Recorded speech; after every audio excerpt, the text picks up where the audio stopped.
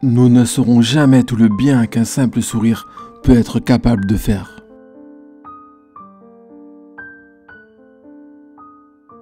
La plus grande souffrance est de se sentir seul, sans amour, abandonné de tous.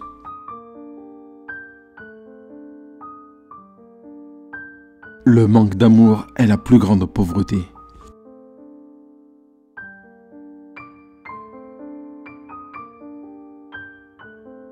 La solitude et le sentiment de n'être pas désiré sont les plus grandes pauvretés.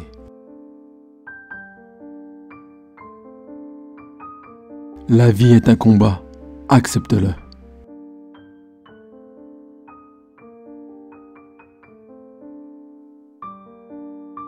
Nous réalisons que ce que nous accomplissons n'est qu'une goutte dans l'océan. Mais si cette goutte n'existait pas dans l'océan, elle manquerait. La vie est une chance, saisis-la.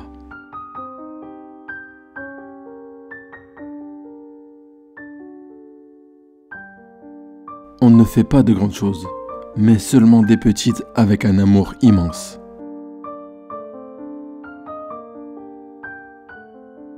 Il y a des maladies qui ne se guérissent pas avec de l'argent, mais avec de l'amour.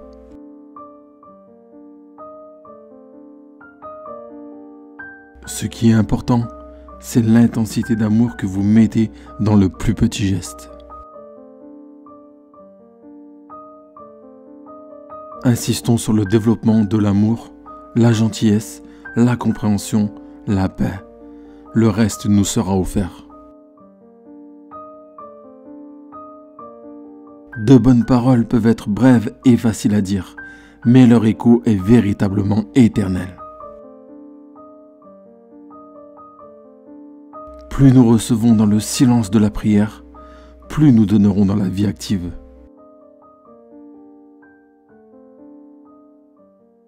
Seul, je ne peux pas changer le monde, mais je peux jeter une pierre dans l'eau et créer de nombreuses ondulations.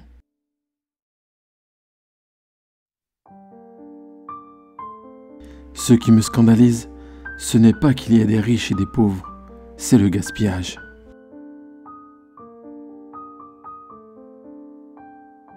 Chaque personne est pour moi le Christ, et comme Jésus est unique, cette personne est alors pour moi unique au monde.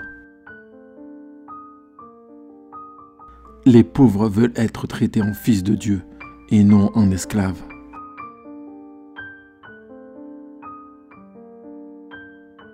Pour ce qui est de l'argent, il viendra bien.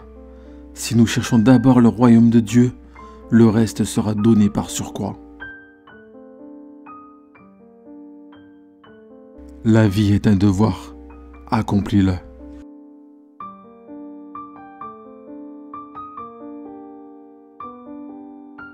L'autre jour, j'ai rêvé que je me trouvais devant les portes du paradis.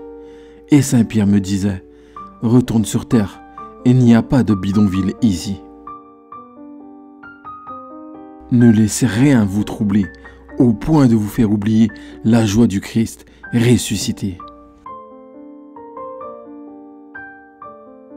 Bien des gens acceptent de faire de grandes choses. Peu se contentent de faire de petites choses au quotidien.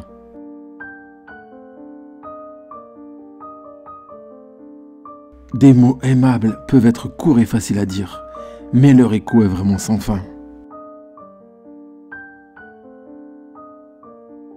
S'il est une chose que nous pouvons apprendre de la Vierge Marie, c'est bien sa tendresse.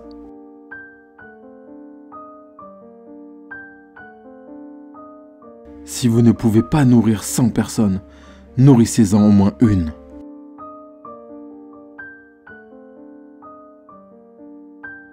Nous autres, nous avons besoin ni de bombes ni d'armes, car notre seule arme, c'est l'amour. Nous devons aimer les pauvres, parce que Jésus se cache sous l'apparence des pauvres.